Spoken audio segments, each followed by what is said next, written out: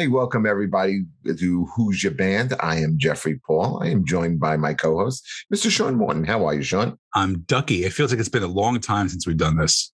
Mm, I've been, I've been wanting to do this show like for the longest time. It's something we have discussed like a little bit on the air, a little bit off the air and it was something that's always intrigued me and then when you go and you do the research it's it's really a fascinating topic so it since it was basically your idea why don't you introduce it so we are it could be a solo artist could be a band it could be anything uh, where we take the best three album run of a band. It doesn't have to be the first three. It could be three of any, you know, in any chronological. Three in a row three in a row.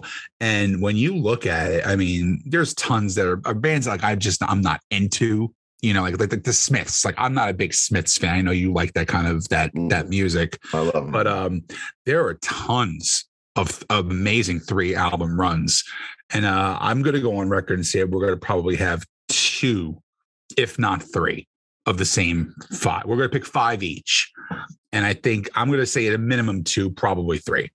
Okay. So why don't we get started with that? Do it. And do you want to go first, or would you like me? yeah, go I'll go first. I'm not gonna. I'm not gonna go like this is number five. This is number four. These are all just random. Exactly. Uh, uh, for me, it's mostly rock in this in this uh, list for me. I didn't. I, I could have went hip hop with one band, which I didn't. I could have went pop. I didn't. I really kind of stuck to rock with this. And the first one I'm going to go is Black Sabbath. Uh, there you Right. I told you we're gonna right have off the freaking bat. Right, let's let's talk Sabbath. So you got obviously Black Sabbath is their first. You're, you're right in the same order as I am. I yes, Black Sabbath, then Paranoid, and then Masters of Reality. Uh, Black Sabbath, everybody knows and will agree, is the founders of heavy metal. Some people say, you know, that there's other people that could be, you know, you can say that, but I, there, there's no comparison. This is the the band that started heavy metal. Uh, for me, if I had to pick one out of those three, I go with Paranoid. Uh, just because I'm I'm more of a fan of that record, but uh, just hearing the the first intro guitar line of Black Sabbath itself was something that you'd never heard in 1970. And one thing that's really cool too is if you look at it, they put these three albums out, I believe, in 16 months. Yes. Which is unheard of in this day and age. It's absolutely unheard of. The debut album only took two weeks to record. Yeah, and you got to remember too, a debut albums, I mean, it's it's like a a thing that people always say all the time. They had their whole career to write the first album, but it's the second album if it's really good. Hey, listen, not a bad second album. Let's just be honest. You know, you got you got, you got war pigs, you got paranoid, you got I mean, fairies wear boots, Iron Man. Yep. Electric Funeral. It's it's a classic record. To me, it's their best record. Yeah, I mean, I love I love this. I had I had this on my list in the exact same order as you did. Um, it, it's fascinating that the first album they come out with is Black Sabbath, and, and the first thing you hear is you know uh, the title track Black Sabbath, which was actually written by uh, the bass player Geezer Butler, uh, describing a dream he had. Hmm. Um, hmm. And then they took the the title from I think it was a was a Boris Karloff movie. Yeah, yeah.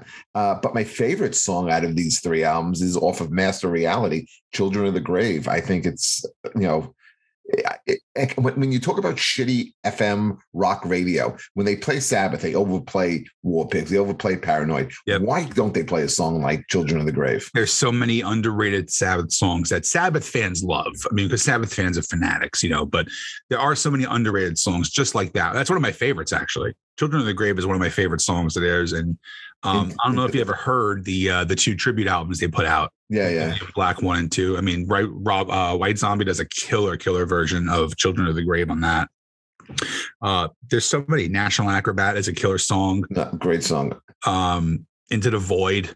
I'm just gonna say Into the Void's on you my know, list. They great songs so yeah, I agree with you. I, I, really I hate agreeing with you, but they do overplay, and, and it's like everywhere. Any any classic rock station is going to do the same thing. They're going to do it with Zeppelin. They're going to do it with eh, Black Sabbath, even with the Who. They're going to do. They play the hits, but you know the hits aren't always the greatest songs that they put out. Agree. Yeah. Okay, so let's move on here, and I'm sure this is on your list as well. Let's go Van Halen. Nope. Okay, all right. So I'm gonna Van Halen, starting with the debut album, '78, Hmm. and listen. Listen, the first thing you hear is "Running with the Devil," "Eruption," uh, "Ain't Talking About Love." Jamie's crying, Atomic Punk, and my favorite song on the album, Little Dreamer. I think it's the best song that, that David Lee Roth sings. That is their debut. Right. And then a year later, they come out with Van Halen 2, uh, Dancing the Night Away, Beautiful Girls, uh, some uh, Somebody Get Me a Doctor.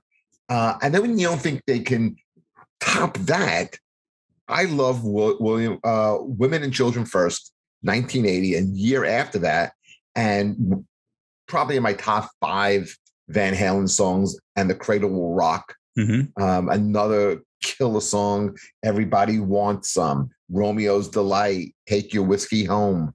I mean, these are three phenomenal albums. I know what the thing is with Van Halen. You can keep going. Sure. You know, it doesn't have to even stop at a three album run. I could have picked it up after uh Women and Children First and gone uh Diver Down and you know and Fair and, warning. 19, and fair warning exactly so i mean it's just it's just insane how good this band is i, I don't think van halen ever came out with a bad album to be honest you. Well, the Gary Cherone album is not great. it's not great but it's not it's not It's terrible not hor- It's not horrible. He he, he had a, a shitty situation. He really did because he could have really had that ball and ran with it, but I don't know. And Van Halen is a is on was on my list. I had like twelve that I had picked, and I cut them down. But uh, yeah, I can't disagree with you with that, man. That first Van Halen record is is just a a, a monster. It's, it's definitely top ten greatest debut albums ever, but that's not even a question for me. absolutely and and i saw them on that tour when they Wow. were touring in support of sabbath That would have been cool to see. I mean, I was one, but uh, it would have been uh, a lot of fun to go see that actually. okay give us your second pick Uh, I'm staying with the uh, rock and metal, and I'm going with Metallica's uh, "Kill 'Em All," "Ride the Lightning," and "Master of Puppets." you can't go wrong with those three You can't go wrong with those three. I mean, you could go "Ride Puppets" and "Justice." The only reason I didn't pick "Justice" is because there's no bass on the record. They freely admitted there was no bass on that record at all. They turned it down to one, and it's a shame because it's a, it's an amazing record. They do. Uh, there's something on YouTube which is actually pretty cool. Uh, it's this one kid.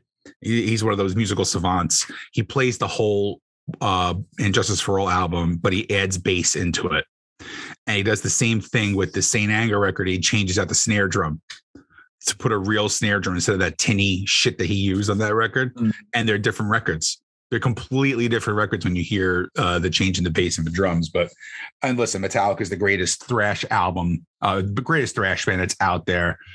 Uh, you know, of the big four, Kill 'Em All for me uh, is my least favorite of those three, to be honest. Uh, I think Puppets still to this day goes down as the greatest metal record of all time. Uh, it's kind of hard to just to find something that comes as a good second place to that. Uh, it just it put them into the stratosphere. It really did. And even though like you know, Puppets is um, just a killer killer record, I prefer some of the songs on Ride the Lightning more than Puppets. like what For Whom the Bell Tolls, I think, is a killer song. Uh, Ride the Lightning itself is is a monster. I think it's very, very underrated. That record. if you had to Uh, pick one song off of each album which song would you say is like your go-to song on each of those albums Shit. Um, if I'm gonna go with the first record, uh, that's that's tough, dude. Maybe Motorbreath. Off Oh, of you're going- you're going deep Yeah, maybe Motorbreath. I like that a lot. Uh, if I'm going with uh, Ride of Lightning, I'm probably going to pick For Whom the Bell Tolls or Creeping Death. I can't. I'd probably go Creeping Death both are both equally on, great on Lightning, and then I go with Sanitarium on Puppets or Master. It's hard to. I, I can't pick one. You know, I really can't. I'll, I'll go with Master of Puppets, the, the, the title track off the third one. They're solid fucking records, and th- these are 40 year old records now, and they're still hit as heavy as they did the first time I heard them. They feel like they've never aged No, they haven't at all. What's Well- uh, what's your next uh, your next three? Okay. Well, speaking of age, I'm going to keep uh, going with the classic rock. I'm going to go Queen. Okay. And I'm going to say uh, start with Night at the Opera from 75. And the opening track, Death on Two Legs, is one of my favorite all-time songs from Queen. Uh, You're my best friend. Uh, 39, the song that Brian May sings. Uh, Prophet song, a song that uh, a lot of people don't give a lot of love to, but I think should. Uh, Love of My Life, which is uh, just a beautiful song that which was shown in the uh, movie, and of course the epic Bohemian Rhapsody. I mean, that is a that's like about five, six songs I just mentioned right off the Yeah. bat that are just great, great songs. And then they follow that up in 76 with the day at the races. And there you have it's a little harder. Uh, tie your mother down, somebody to love. I mean, it, there's not a it's such a good song. And then a year later after that, News of the World, which is you know the rock anthem uh, we will rock you you know going into we are the champions uh, spread your wings which is to me is almost like a perfect song. It's such a beautiful Mhm. great song that tells a story. I love it. Sheer heart attack is hard. Get down make love another great song. So i mean queen to me th- they're a band that when they did it right there was nobody better. They did have a couple of clunkers. Hot space was was a mess. Uh, but these three albums, uh, it really in the middle of their career was just uh, just great. I, I probably could have started maybe a day or eight. You see, you can't leave out Night at the Opera. If we went four, I could have put Jazz Yeah, on here as that. well, which is also a great album. See, I I was uh, introduced to Queen very weird. Um, the first song I ever heard by Queen was another one, "Bites the Dust," and the reason why I heard that it was an old wrestler's theme song on TV. So I heard it like in the early '80s. It was a guy named Jimmy Valiant would come out to that song, and I was like, "All right, this is a cool song," but I didn't know who it was. And to be honest, it was Wayne's World that really did it for me with with uh, Bohemian Rhapsody. It brought a lot of young people into Queen. one and two, and they're they're great. I mean, if you put greatest hits records up against anybody's, those two Queen records are are probably the top three. You know, uh, for me though, an album that I found uh fairly recently, I'd say within the last two years, that I really I love is the game. Oh, that's a great one. Yes. I yes, play yes, that yes. const- I play that constantly, and I think one of their most underrated songs is "A Sail Away, Sweet Sister." Yeah. yeah. I, I, I had always heard, um, again, me being a Guns N' Roses fanatic, Axl used to do a thing where he would sing uh, the chorus of Sail Away, Sweet Sister a cappella before they would break into uh, Sweet Child of Mine, which was always a cool thing. I never knew where it was coming from. Like I thought it was an actual Guns N' Roses song that he was just doing a cappella, like a little snip. And then I wound up going back. And when I heard the song, it just put two and two together. I was like, holy shit, I had no idea that that was actually a Queen song. That's pretty cool that he did that. Um, uh, I'm glad you brought that up because that is a that's a that's a Queen album that gets lost a lot. Big time. Big time. Uh, and it's got um another one bites the dust on it too. Right, right. Which, which I mean, again, because of shitty FM radio, overplayed, and Big you know, but the song, the game, is again such a great, great song. Yep. Oh, absolutely. You know, Yeah, it's it's a killer record. it's catchy. It, you know, I remember it got some play on radio back in the day, but I never really thought it got the push it really deserved. I, I I agree with you because you know a friend of mine was like, "Hey, listen to this album." I'm like, I don't even have it. Like, I didn't even download it. You know, I I, fin- I finally downloaded. It. I was like, wow, this is top to bottom, such a great record. I went bought the vinyl. And you know what? A great guitar lead in that song by Brian May Mm-hmm. on that Oh, song. Yeah. All right. So, Sean, what else you got? All right, I can go. I'm. I'm probably going to go what I think is the best three. All right, this is, and you might disagree with me with this, but I'm going to go with "Born to Run," "Darkness on the Edge of Town," and "The River."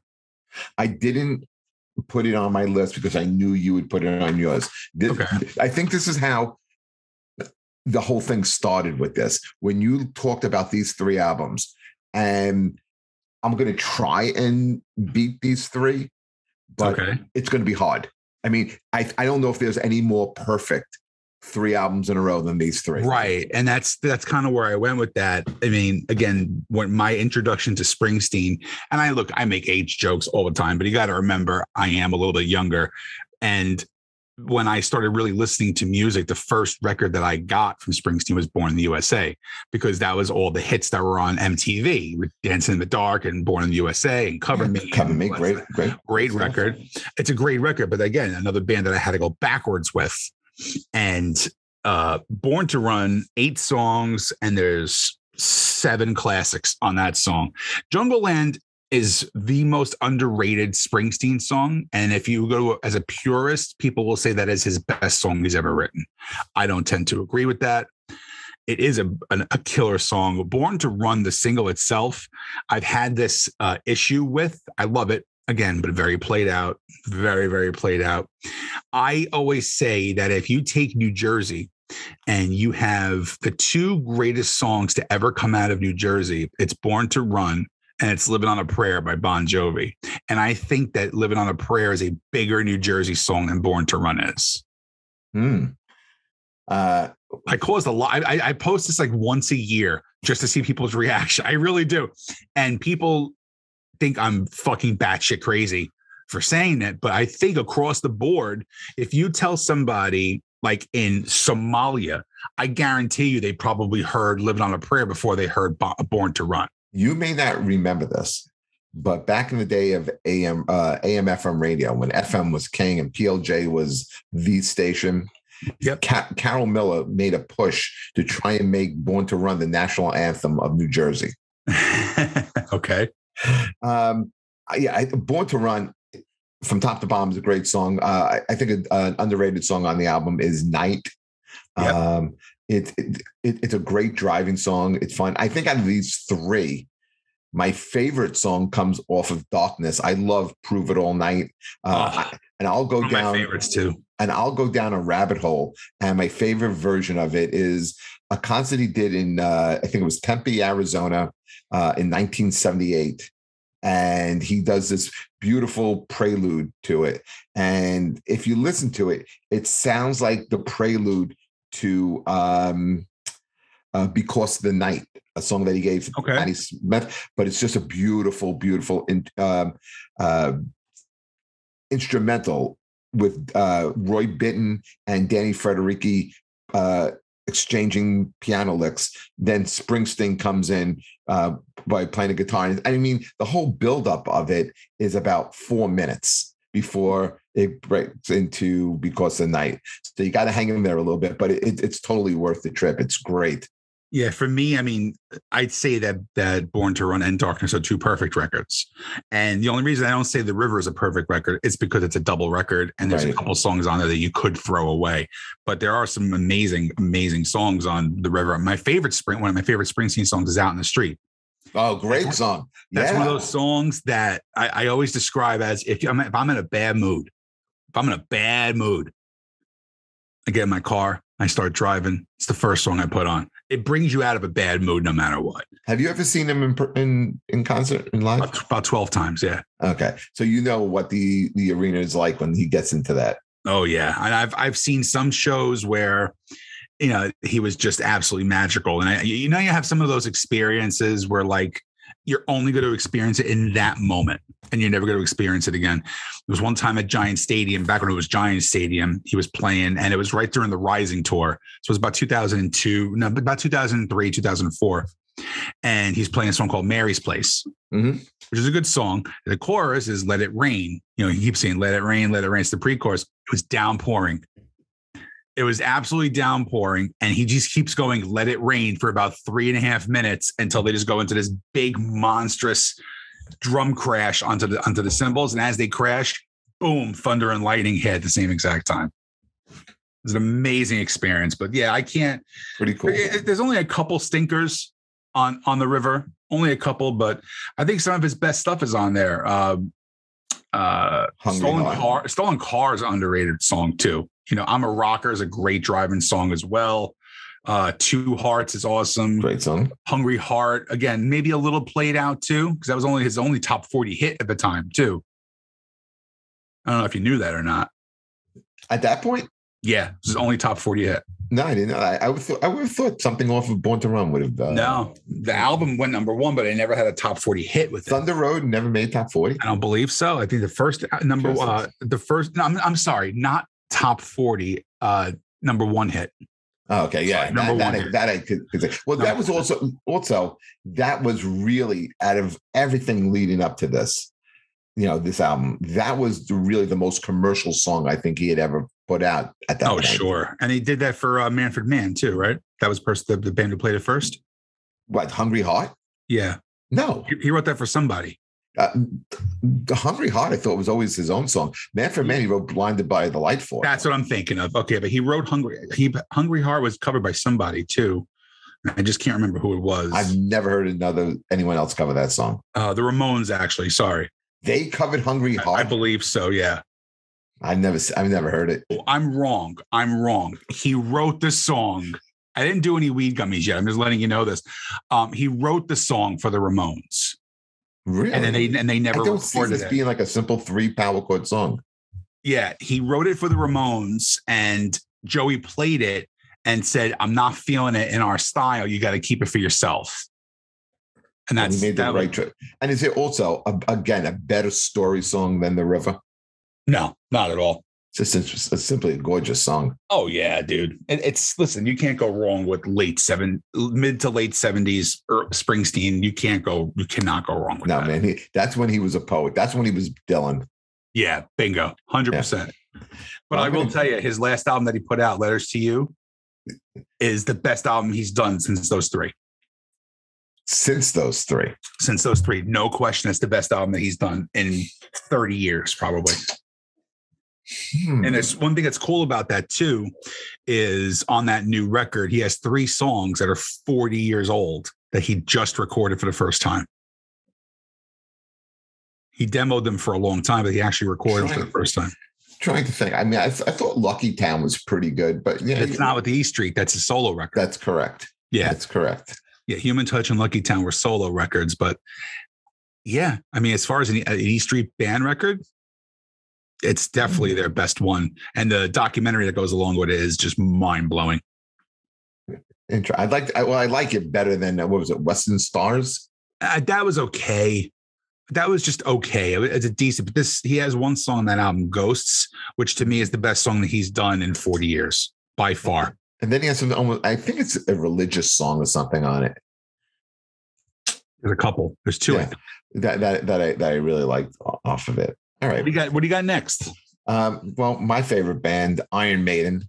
Okay. Um, and I'm I'm gonna. This is kind of interesting because Iron Maiden, a couple of inceptions, and we'll start with Iron Maiden Killers uh, in '81 with uh, Paul Di'Anno, and they were a different band. oh God, um, yeah. At, at that point, I mean, they're heavy, but they're not what they ultimately become. They're all because Paul Di'Anno kind of gave like a almost like a a punky, uh, almost like a Sex Pistols type of of of a vibe about them. Um, the Okay. song itself, Killers, uh, Wrathchild, which they wound up doing later on in their sets. That's my favorite was- song on that record too. it, it's a great one. Uh, Murders in the Morgue was was great, and then the the title itself, uh, Killers, was was great. So um, yeah, so after that, they wind up uh, replacing a, singer, and you're like, do you remember back in the day when you replaced the singer? That was like, man, that was a- done.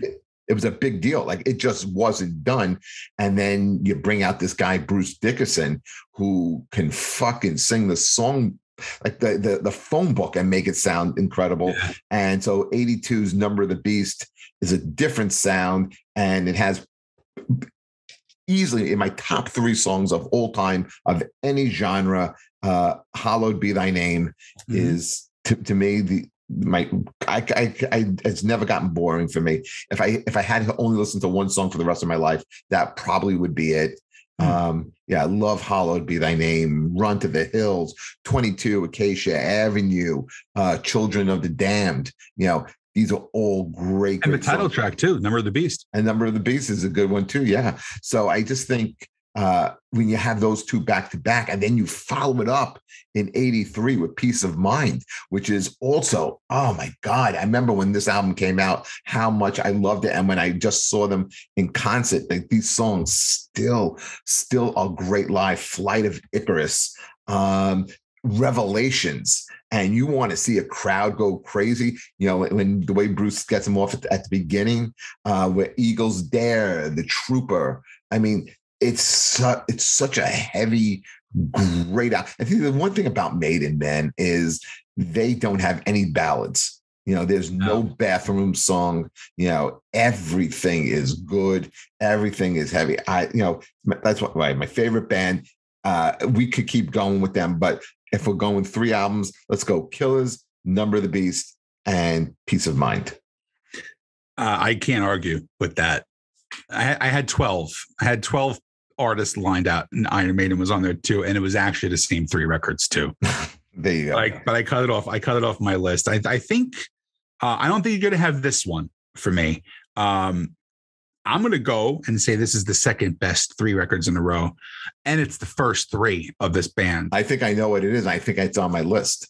Well, there's two of them that I'm doing with this. Okay. So if you want me to go with the one that I think that you have on your list, no, do, do no, no, I'm going to see if I'm, I'm going to see if we have this little uh, symbiotic thing going on here, Jeff. I'm going to go with Rage Against the Machine. That is not it. Okay. I'm going to go with Pearl Jam. So here's. It is not. You're not going with Pearl Jam. I know you. You hate Pearl Jam. I actually have Pearl Jam on the list. Yes. You cannot possibly. I I do. The first three records from Pearl Jam, I think, are not only their three best records, but the the first two records are the two best grunge uh, records. Two of the two agree. best grunge records. Hundred percent. Totally agree. Uh, Ten is phenomenal, yeah. but I had I didn't put them on the list because I couldn't come up with the third. Yeah, I think it goes 10, then verses, then Vitalogy. Vitalogy put out a lot of great songs on that yeah, record. I don't know, man. man. That's when I, I like I, uh, what I like of Pearl Jam, I really like, and then after a while, it becomes a too much. You have fanatics who love. I have friends who like. We're all going to see Pearl Jam in September, right? So these people are fanatics. They're fan club members. They go to every show. It's like it, it's ridiculous. They love everything. I am the first person to admit Pearl Jam put out a lot of shit. Okay, in the early 2000s, they put out like three or four records in a row that were hot garbage. Okay, but these three records, I mean, 10 by Pearl Jam is a, for me a top five debut record. Uh, I mean, it's up there. Between up there. there's not a bad song on the record. There is not one single bad song on the record. Uh, Release is one of the greatest rock songs that was ever written. I don't know if you're ever a fan of that song or not, but I mean, if you don't hear that live and you're not crying when you hear this song, you're not listening to the song properly. It's just a great song. Uh, and they have the hits like Jeremy and Black and stuff like that. But even flow even flow they and but you know alive was the first single yeah yeah when i, and when i heard one. that man Great i was song. like holy shit this this is a this is a good friggin' band i'll never i was away on a retreat like a, a day retreat in high school and this kid came up to me and goes do i know you're a big rock fan i made a copy of this listen to this. And if you like it, make yourself a copy and give it back to me. And I did. It was a tape. And I was like, holy shit, this band is amazing. And then, you know, Versus has Animal, Daughter, uh, Dissident. Love Animal. Yeah, yeah, yeah. Uh, rear view mirror, elderly woman behind the counter. I mean, that is a, such a, an amazing follow up record to 10. It really is. And then you got yeah. Vitalogy that has a lot of great songs on there too. It's got uh, Not For You, which is the first single. That's a good song. Yeah, yeah. Nothing Man, uh, Corduroy, which is a great yeah. song. Better Man, which is one of their yeah, biggest, probably their one. biggest song, I would think. It might be their biggest song they ever did. You think so? Yeah, I think I so. would think the songs off of 10 were bigger.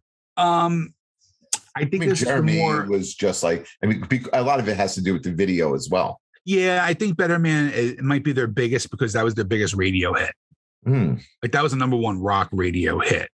But uh, yeah, for me, those three albums in a row are absolutely killer. And then like you know after after Vitalogy, it, it really does kind of just slide downhill. You got the um no code record and then it has like one or two good songs yield has one or two I'm not an uber diehard fan, but I do appreciate when a band puts out good music. And those three from top to bottom for me are just right there. That's a that's a good three. You you're right about that. That is a good three. I want to hear what you got next. Um, hmm. There's a lot of different directions I can go, but I'm sticking with classic rock because I think Okay. I think the 70s are the best era of music. Uh, and so I'm going to stick with that era and I'm going to go with Pink Floyd. And I'm going to go uh, Dark Side of the Moon, 1973. I mean, besides the concept, and everyone knows about how long the album charted for on the on the Billboard charts, when Billboard charts actually meant something. Right. But I used to buy a magazine every goddamn week. You did? Oh God, yeah. For years and years, I would buy Billboard every week and just read the charts and study the charts and see how much they were going up and going down. And oh yeah, dude, i was a, I was such a nerd. So so did I. Be, be- that was it. Was that I forgot the some of the other publications. But when I owned a record store, that's what I would do. And every week I'd pull out that top uh, hundred uh, chart, and I would put it on the um, on a display in my store. Hmm. Um, but it was Dark Side of the Moon. I had Breathe, Time, Money, Us and Them, Brain Damage, Eclipse. I mean, it's it's it's considered their masterpiece. Yeah. But my favorite favorite album of Pink Floyd is the album that came out two years later, "Wish You Were Here." here, it's my favorite too. By There's far. not a bad song on it. It's an easy listen. "Shine on Your Crazy Diamond," uh, "Welcome to the Machine," "Have a Cigar," uh, the title song, which opens and closes the album. Uh, just, just sick. I mean, you. Just, I mean, again. F- phenomenal. I love pink floyd. And then animals came out in 77 which is an uh roger waters commentary on society and he breaks it down to three uh, types of animals that people basically turn into pigs dogs and sheep.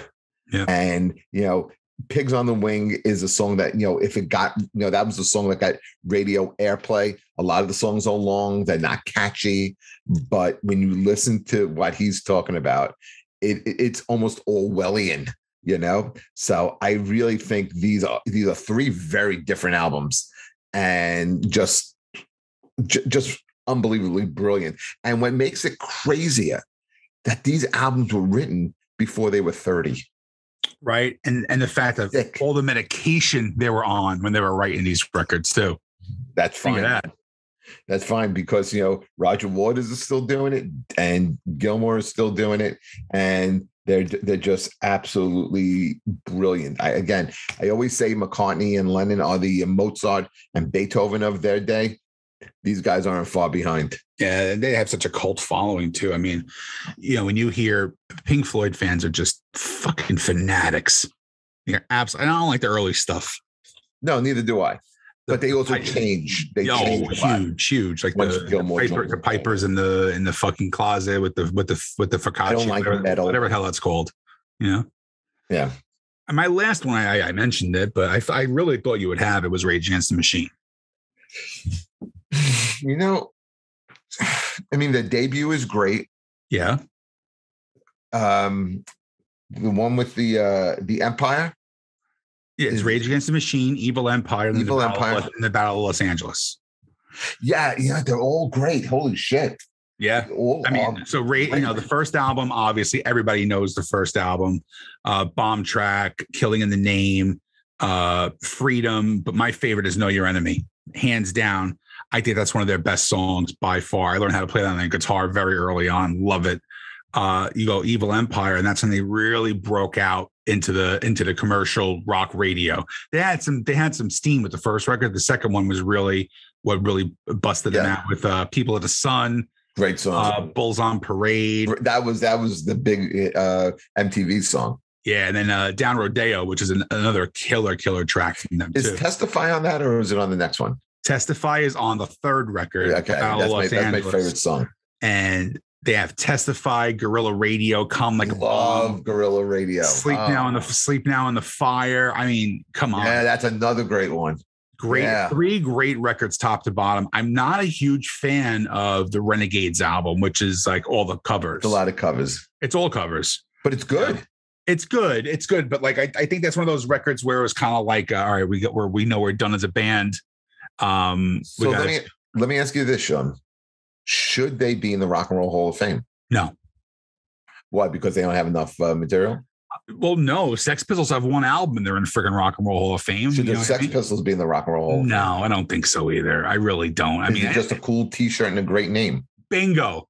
Thank you. That's one of those things. Yes, absolutely. They didn't change a genre. They were just like very controversial. They have Right, like Right. there's two good songs on that record. You know what I mean? There's only two good songs, but yeah, I don't, They're I don't know that Rage. I wouldn't even say they're good songs. They're okay. yeah, I don't I don't know that Rage deserves to be in. You know, I mean, does Public Enemy deserve to be in ahead of Rage Against the Machine? Well, you know my feeling on this. It's the Rock and Roll Hall of. Fame. I know it's it's shitty, but I I do think at some point they will go in. I do think they will go in. Um, and maybe it's not going to be this year, obviously, but maybe next year they'll go in. Because there's a lot of people that are on that border right now that deserve to go in. You know, And Tom Morello is kind of like big with uh, with the hall itself. he's very big and like you know he just put out uh, two solo records in a year, which I don't know if you heard. Uh, that he does a version of Highway to Hell with Bruce Springsteen and Eddie Vedder singing it.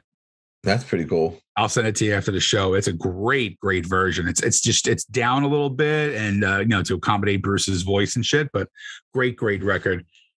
Yeah, I mean, I, I it was a toss up for this between this and a Tribe Called Quest. So I'm glad you went with this. Yes, because I know you're not a hip hop fan, uh, even I though like some hip hop. I'm not, I'm not Tri- a- the Drive record is uh, but I'm not going to put the fucking Tribe Called Quest and compare it to Rage Against Machine. I don't think there's any comparison. no, no, I don't think so. you, you just made a great argument on why why uh, Rage Against the Machine's top three albums are great, and that's why they're borderline. It's borderline. but That's the thing. Like nine. Inch They're, they're, Nails they're is the borderline. Rock and Roll Hall of Fame just based on their first three albums. Yeah, I mean, Nine Inch Nails was kind of this in the same kind of boat too. I mean, they were they were a different sound, and that's the thing I loved about Rage is you didn't hear anything like them in the least bit.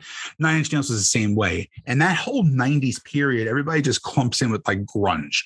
There's some amazing bands that came out that put out different music that didn't sound like anything. Like I love Matchbox Twenty.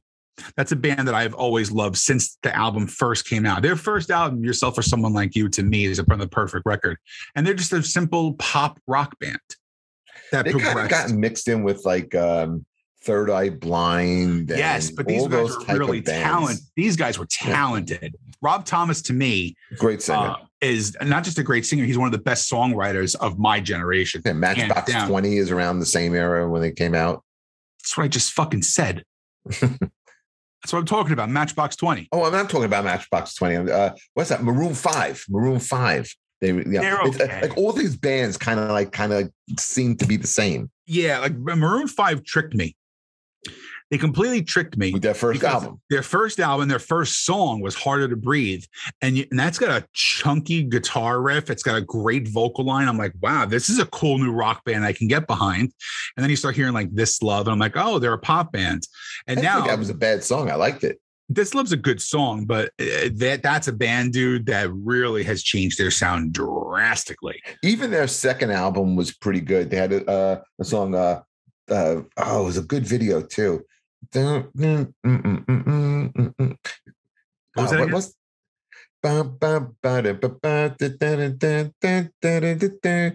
I hate you so much. Uh, what was that? Come on, help me out with this dumb song. I'd have to look it up.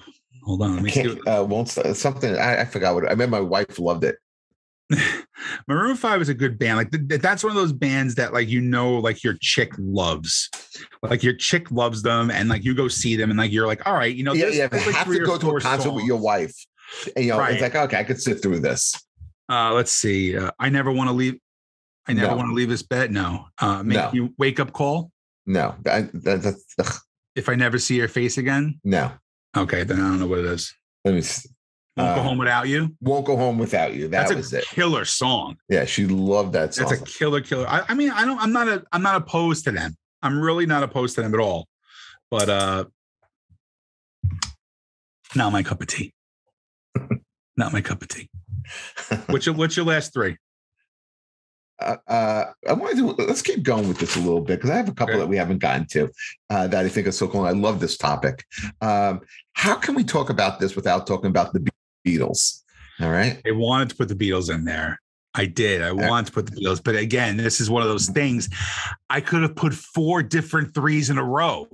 Well, that's why I wanted to ask you: Where would you have gone? Where would you have started with the Beatles? God,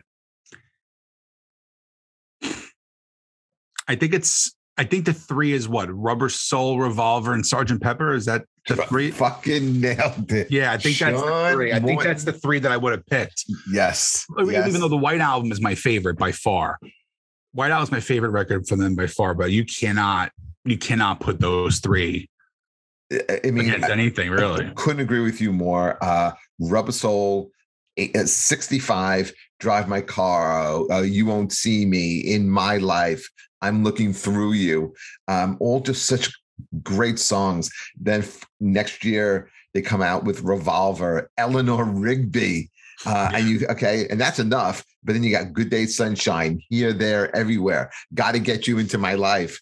And then there was, I think, in between, not an. Uh, it came out with an album, but it was an album of original material. It was almost like a greatest hits. And then the next, you know, the next year they came out with uh, Sergeant Pepper with a little help from my friends, the title song, "She's Leaving Home," "A Day in the Life," which is just you know a, a production classic.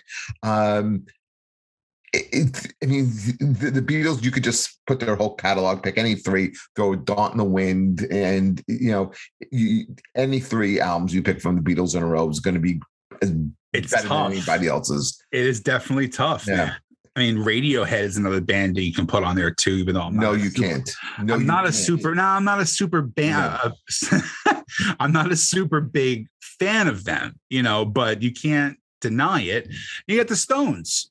We didn't even talk about the Stones either. You got Let It Bleed, Sticky Fingers, and Exile on Main Street. Uh, hold on, I I have that written down here somewhere. Where did I put my my list here with the Stones? I I think we're somewhere in the right ballpark. Stones, what'd you say? What were your first th- the three? Stones, I would say you do Let It Bleed, Sticky Fingers, and Exile on Main Street. Bingo. I have the same thing on my little list here. Yeah, that, that's a solid three. I mean, look at bands like U2. You know, U2 put out there's there's a couple right. I think there's two or three you can do with three in a row, but I would go like Under the Blood Red Sky, Unforgettable Fire, and Joshua Tree. Joshua Tree is the greatest is their greatest record by far. It's not they're Yeah. never gonna put a, a record out better than that. Um, But you also could have started at the beginning, or you could have started with uh War, okay, and then gone the three, you know, the three consecutive, you know, uh there. You know, I, again, I I don't like a lot of hip hop. Um, I appreciate a lot of it, but I don't. I will never just go out and listen to it. But like Outkast is an amazing band that put out three monster records in a row too. I mean, you have Aquemini, Stankonia, and Speakerboxxx, which was the double album. That was the album that blew them up, and it was their last album.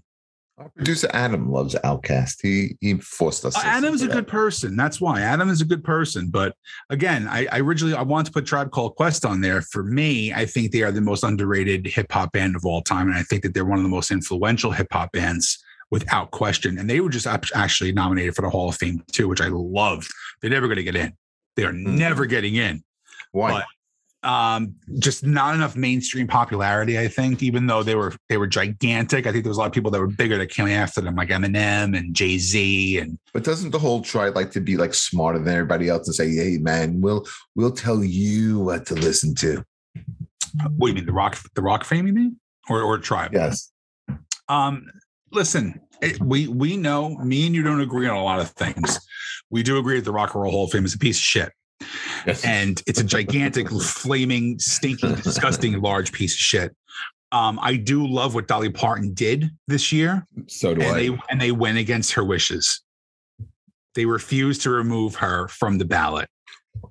Adam could back me up on this, but all I know is that Pat Benatar bet again in this year. She's getting in this year. There's no question she's getting in this year. She has to there's get in. always somebody who the year before is pushed back into the limelight for some reason. And it was kind of like with Joan Jett. Joan Jett was in the Rock and Roll Hall of Fame until she played with Nirvana at their induction. Then all of a sudden they were like, how the fuck is Joan Jett not in the Rock and Roll Hall of Fame? And then the next year she was. Pat Benatar should have been before Joan Jett. I tend to agree with you. I tend to agree with you. I mean, I, we, again, I love busting your balls, but then you can't when when the facts are in front of you, you can't deny it. I really because I mean, she. I know that she was in the Runaways the same time Pat Benatar, you know, was was Mhm. making records and being, doing hit records, but Right. she was like, you know, Pat Benatar. Who tell, tell me a singer, a female singer who was a solo artist Okay. who was a rocker before Pat Benatar. Janis Joplin? She, well, she was more of a folk singer, wouldn't you say? No, she was a rock singer. I I, I see her as a rock singer. Um, I think of like I'm almost like a rock soul singer. Pat Benatar, when you look at songs like um when you think of songs like uh Hell's for Children and Fire and Ice, and you know, I mean, she's just she, you know, she was like a, a, a- she would she toured with like the Scorpions. did she know? really? I didn't know that. Yeah. Yeah. She, I mean, she was, she was like a, a rocker. She was a rock chick, you know, and she made, I mean, I, she made it cool for, for, for girls to go out there and be, you know, like do heavy metal music, heavy, I'm not going to say it's heavy Heavy, metal, yeah. hard rock. Let's call it hard rock. Okay. Okay. I mean, Adam the only people I can think of, is, yeah, I think Adam just texted us and said that uh, she's number three in the fan voting right now. Adam, is- who's number one in the fan? Because I'm sure it's something like shitty. It's Duran Duran. Yeah, Well, you're correct. That's you know, shitty. They are not shitty. They, they're good. Uh, no, four songs and that's it. Really? You think only the four? reflex. Shut up. You don't like the Yeah. reflex? And, I don't like the. Re- I used to when I was a kid, and then when you rehear it, Save a an adult, prayer. Uh, I like. Um, I'll tell you my favorite Duran Duran song is "Ordinary World" off the Wedding album. Yeah, yeah, that's a great one. a great- come undone. Yeah, which uh, I mean, I have so many covers of that song. It's one of the most. It's one of the most covered rock songs. But come undone. Come Undone. Yeah, I have like four or five different versions that are just unbelievable. I think the only. I mean, and she's not really a rock singer, but I mean, if you go back to the Pat Benatar thing, I think the only person, female singer solo, that can compare with the amount of hits that Pat Benatar had would be Linda Ronstadt. Uh, but she again, she's she's a Folk rock, she- well, she, she's so many different genres. right? She didn't she win a Grammy for Spanish music? I think so. She did a Spanish record in the '80s, I think. Yeah, Yeah, and then she did. um I remember she did a a couple of albums with the Nelson Riddle Band that Really? were like American standards, like you know, a big orchestra, and she got dressed up in a gown and did all that. And Really? then you look at her her early like you know 60s and 70s stuff, stuff what she did with a what was it was the group called the Stone Pony? Don't know. Yeah, uh, you know, songs like a different drum. She sang that uh, as part of a band before she went solo. So I mean, she just so many different incarnations of Linda Ronstadt. Oh yeah, but Stevie Nicks is still far superior to Pat Benatar as far Not as even close. singer. It's Not even how, how, how they can put Stevie Nicks in as a solo artist over Pat Benatar is a fucking crime, and it's the reason why I hate the Rock and Roll Hall of Fame. I really want. I'm. I have. I have put out no less than ten emails to different people trying and begging to get Pat Benatar on this show. Don't build up my hope, Sean. I have been trying for literally a year, for literally a year since now I am the person who was getting all the guests. Anyway, so yeah, I, I have been really trying to do this. I, I'm going to make it happen. I'm going to make it happen at some point. I'm telling you right now. I hope you do. I'm telling you. Was that? Did you finish your list? No, I got, I got, I got another one. You got another? What's your last one? Um, let me. I want to go two more. Okay. Okay. Um, because I because I just don't want to leave any of these bands out. Uh, right. I- and maybe you have this on one of your lists as well. The Cars. Do you like the Cars? I think when you look at the Cars debut album in '78, also talk about everyone says the Cars debut album is their greatest hits. Let the Good Times Roll, Yep. Best Friends Girl, uh, uh, uh, You're All I've Got Tonight, Moving in Stereo. Uh, man, great album, followed up by Candy-O in 79, The Dangerous Type, which may be my favorite song that they've done. Since I Held You is another great song. Uh, Let's Go. Uh, got a lot of my head, which was like a really great, almost like a punky new wave-ish song. And then they changed their sound a little bit uh, in 1980 with Panorama, with songs like Touch and Go and Don't uh, Tell Me No. And they're very, very reminiscent of the time, uh, very synth, um, uh, heavy songs. But I mean, the Cars also a band that I'm glad they're in the Rock and Hall of Fame, and I just think they never came out with a bad album. They're very underrated. They're very, you don't understand. Like, they're one of those bands that influence people on every level, like pop bands, rock bands, alternative bands. You know, they, they were such a huge, huge influence on so many people. Uh, I think you know I'm a huge covers person. Like Smashing Pumpkins did a, a killer version of "You're All I Got Tonight," which I don't know if you've ever heard. Again, I, I haven't heard. Killer version, a little he- much heavier than the original version. But yeah, you hear a lot of the Cars music and and tons of. We just said it: Matchbox Twenty and Maroon Five and Third Eye Blind and you know Hootie the Blowfish. Like all these bands, you can hear the Cars pop influence on. And then once you get into like the, the mid '80s, they got very poppy with like you know Magic and uh, you might think and stuff like that. And that's when they kind of broke out. But if you really look, well, it was all, that was all also very heavy MTV. Of course, it was MTV. You know, and Drive. You know, which is well, that's still a, phenomenal song. song. Beautiful song, and uh, you know, I have a couple cover versions of that too. Deftones do a great version of that, and uh, 6 a.m. Nikki Sixx does a great version of that too. Which is great about that. What was great about the cause in general was you had two lead singers yeah. Um, Ric Ocasek and Benjamin Orr. And they would write songs for each other as well. Okay. Um, but Drive could be the cause best song because okay. it's, it's such a haunting song. It's a, you know, and if you watch the video, it's um Ric Ocasek's wife who plays the girl in the asylum. That's Paulina Polakova. Or Poroskova, whatever. Yeah stuttering, mumbling prick. I'm going to tell love, you. You love when I pronounce like, like oh, European names. It's just great. It just does wonders for my soul. so if I'm going to pick an extra one, since you're going to pick one more, I think that's, and I it just popped into my head how By I. By the way, there's one band. There's one band that I'm shocked that you haven't brought up. So I hope this is it. Okay, no, it's not. It's in a solo artist. No, then um, Michael Jackson. Oh yeah, yeah. If you go Thriller, Bad and Dangerous, I think I thought you were going to go before the album before Thriller. No, I'm not a huge fan Off of the wall. wall. I'm not a huge fan oh, of that. a great album. A good record. If it's a good record, I mean, you could you all right. Look, you could go off the wall, Thriller and Bad, but I go Thriller, Bad, Dangerous. Dangerous had some great songs, and Bad had like I think eight top ten singles. It's fu- it's it's a it's a monster album, but it gets un- it gets kind of Dead? shadowed. Right. Yeah. I mean, look, look at look at the two songs that we probably both love the most: "Dirty Diana" and "Smooth Criminal." "Dirty Diana" and is my favorite Michael Jackson song, hands down. It, it's it's great, and those weren't even the biggest hits off that. No, album. not even close. Uh, Thriller again, it's still the, considered the greatest record of all time. I mean, do I think it's the greatest record of all time? It's at the time, man. It's it, up there. I mean, what, up think, there, yeah. think about the two singles that were just like. Is there an album that produced two bigger singles than Billie Jean and uh, Beat It? Yeah, I'm sure. Iconic singles like that. You you can you can put a te- yeah you can say it about a bunch of records. You know what I mean? But, but I mean, I, at the time, I can't think of two songs that were bigger you could say smells like teen spirit and come as you are or lithium.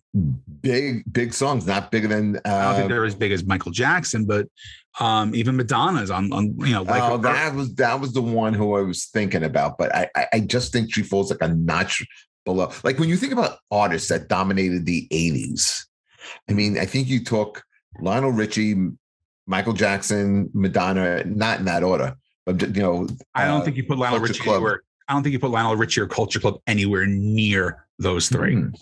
No, I I'm think Chameleon was a if, huge song. If you go the 80s, I think, I think, you go Michael Jackson, you go Madonna. I think you go Guns N' Roses, Cyndi Lauper, Def Leppard, and Cyndi Lauper. I would say those five are probably the, the, the five biggest. That, or, or you got, but U2 in there too.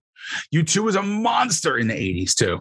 They were. It's tough, man. It, it's tough to narrow these things down because, like, you know, you can you can have fights for or against any of these lists. You know, and a lot of it's personal shit too, because you may have a personal, you know, affinity towards one thing too. You know, like I have, I got Mariah Carey's picture staring right in front of me. You go in the 90s, is there a bigger artist in the 90s than Mariah Carey? Yes. No, there isn't. In the 90s and 2000s, she's the biggest artist out I don't. I do not get your affinity with Mariah Carey. She sings a great pop song. Um, she writes most of her stuff too, which I think is really interesting. She has a seven octave range and she has a great, great Heine. That would make a, someone a great singer. Yeah, well, it's got to come from somewhere. You're right. So who's this artist that that, that you're you have you th- oh Michael Jackson? Yeah, Michael Okay. Jackson. Well, what was the one you thought I was going to say? I thought for sure you were going to say Bon Jovi. No, I would not say Bon Jovi. At I all. thought you. I really thought you were going to go slippery when wet, New Jersey, keep the faith. it's a great one. It's a great three. It's a great three, but I mean, I, I honestly didn't even think of it. All right, let me close on these th- on these three Oh, albums. I'm okay? so interested in this. Go ahead. no, no, it's it's nothing controversial. I mean, I, Okay. again, if we're talking great bands, how do we leave off Led Zeppelin? And how do, and how do we not talk Zeppelin one, Zeppelin two, and Zeppelin three? I wouldn't even do those three. wow. Okay, look at Zeppelin one debut album, Good Times, Bad Times. My favorite blues song that they do, Babe, I'm Gonna Leave You. I know they ripped it off. Okay. I know they did. I've heard the original, but still, it's it's it's great. Dazed and confused, uh, communication breakdown, and then in the same year they come out with Zeppelin two, whole lot of love. Uh, why doesn't sh- what should never be, which is phenomenal, uh, especially the stops and starts in that uh, song. Heartbreaker, uh, man, uh, ramble on. Uh, and then Zeppelin 3, Immigrant Song, Since I've Been Loving You, Celebration Day. I mean, three, three great, great classics. See, I go a different route. I go a different route. I go Zeppelin 4, Houses of the Holy, and Physical Graffiti. That's pretty good too. You know, I mean, you can't you can't deny that. Um, no, no, come on, come on. Zeppelin. Ze- Zeppelin 4, you have Black Dog, you have Rock and Roll. I Stairway. despise Stairway to How you Heaven. hate Stairway to Heaven? It's so, I mean, if you tell me what is the most overplayed song in the history of music, it's Stairway to Heaven. By I, far. I still love it. Ugh, it's so gross. It- to me, it's just I, I feel dirty when I hear it now. It's just so overplayed.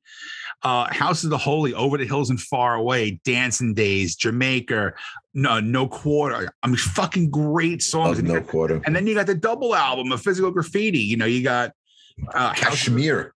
Cashmere, which you know they say is their favorite song that they ever wrote. And if you listen to it, let me tell you, as a guitar player, right, that is one of the hardest songs to play. You stretch your hands like from the third fret to the eighth, seventh or eighth fret. I mean, you have to have monstrous hands to play that song. Did you ever see the video of Jimmy Page teaching The Edge and Jack White how to play that song? Oh yeah, Isn't that great? yeah, that's a great movie. Have you seen it? No, I've, I've just watched clips. I've, I've, I've watched a lot of clips from it. It, it- so it's called it might get loud the movie and it opens up with jack white just taking a board it's just a, a two by four and he takes four nails and hammers four nails on the top two on the top two on the bottom hammers a pickup in right puts two strings on there and then plugs it into an amp and he's playing with a slide off of a fucking two by four and he just goes don't need a guitar to play guitar.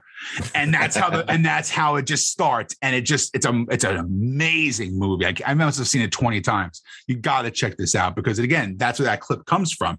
It's all three of them like you see how jack white is so bare bones and how uh, Jimmy Page has his whole complete setup in a different way, and then and then uh, the Edge comes out, and he's like one of those technical wizards when it comes to guitar playing. He has more effects than you can even imagine to get some of those sounds that he comes out. Page looks like Mozart in that. he does, right? He looks like somebody who should be on a friggin' on on a piece of currency. You know, big white hair and the long coat. Oh, it's you know, but when he just plays and he starts talking about Kashmir and how it, it was really the riff of it was the back end of a, of a song that he was working Yeah. on, and then kind of switches it around so it's so it becomes like the the the, the lead and becomes like kind of like the melody of the uh, of uh, of what the song becomes. It's it's great, and just to how he plays it, and at his advanced age, how still he's good, and how the, these two guys who are who are you know, just huge in their own right, look at him like the way we would look at him. You know, they, Yeah. they just like, like you know you're looking at a legend. Oh yeah, that's why Tom Morello was playing with Bruce because, like he says, every time I stand on stage with Bruce, he goes, "I'm playing with rock a rock god every night. How can I not enjoy my job?" Exactly. This was fun. This was I'm listen. This was a show I've wanted to do like for the longest time, and I'm glad we really got a chance to do this. Me too. Me too. We have a bunch of cool shows coming up. Uh, going a different direction with some of them. We're gonna have some singers from uh, '90s and 2000s bands. Uh, no more drummers. We're not doing drummers anymore. Fuck drummers. Okay. Cooking Uh, shows, what's that? cooking shows. No more cooking shows. Yeah, no that, that one should be released by the time this is out, right, Adam? Maybe. Yep, yep, that'll be up. There he is. Anyway, we're, we're uh, we are back on the same page in the show, and uh, I think we're going to have some of our best ones coming up yet. I, I think so too. And also, um, just a shout out, man. Uh, we were at uh, Mammoth Dirty Honey the other night, Yes, and just to, to see those two bands in a place like Starland Ballroom hmm was, was just like amazing. So I got to I got to really thank you very much for the hookup for the tickets on that. Oh. God, yeah, it was my pleasure. That- it, was, that was- it was a great show. and They are the future of rock and roll. So A those two hundred percent. Dirty Honey is they they will be playing PNC the next time they come around. Yeah, and I hope you now you understand why my hatred for Greta Van Fleet is so deep after you've seen Dirty Honey, because that's how the band should sound like. No, no, no. Greta Van Fleet. We we got to go see Greta Van Fleet when they come. You're, you're, you would get me to open for you before I ever go see Greta Van Fleet. come on. What? How can you be that so so stubborn? Not at least wanting to check. Them I out? don't like them. I and let me tell you something. There's a lot of people who can't stand that band. A lot of people like them too, though. My it's friend, subjective. my friend Seymour was at the at the Dirty Honey show, and he nailed it. Why people love Dirty Honey? They are this generation's Aerosmith. The Aerosmith, or the Black Crowes, or Right. So here's the deal. So now you have older people our age who love Aerosmith and they hear this and they're like, wow, this is fucking great. I really dig this. And these kids are young. I'm going to go check them out. And then you have the other generation who is the young generation who is like into rock and roll in their early teens, late teens, early 20s who finds this band. And then their older brothers or their fathers get to listen to it with them who are our age. And they're like, okay, this is a band that I can go see with my kid because we both like them.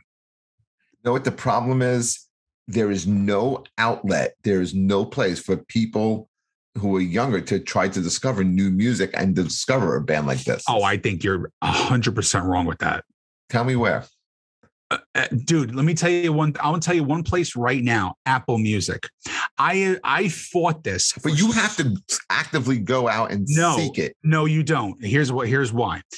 I fought Apple Music because I am one of those people who has to have a physical copy of everything, whether it's digital or CD or whatever. Apple Music, you just pick and it just stays in the cloud. So, like if I'm listening to Shinedown, okay, just uh, picking a band out at random, if I'm listening to Shinedown and the last song I play is a Shinedown song off the record, it doesn't stop playing. Apple Music kicks in and plays songs that are in this genre of Shinedown.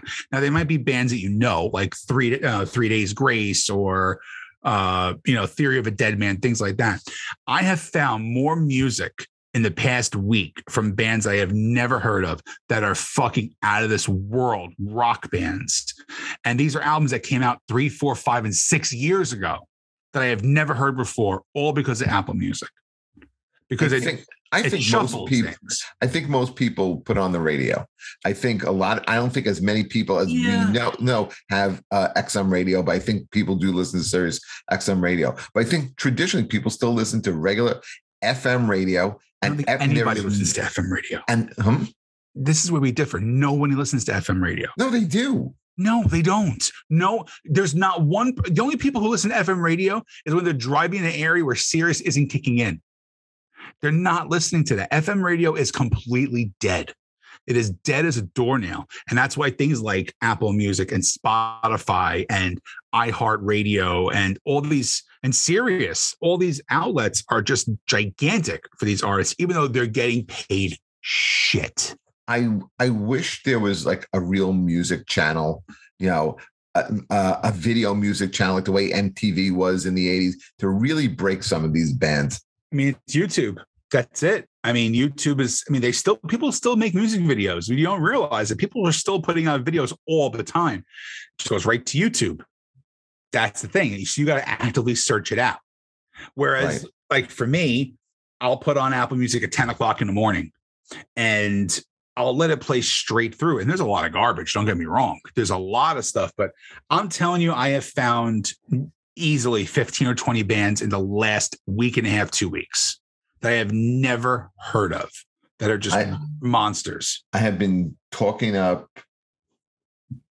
Dirty Honey and trying to spread it to as many young people as I know. Mm-hmm. And just like I really want to see this band like make it. They're going to be big, and I think the next Mammoth record is going to be pretty big too.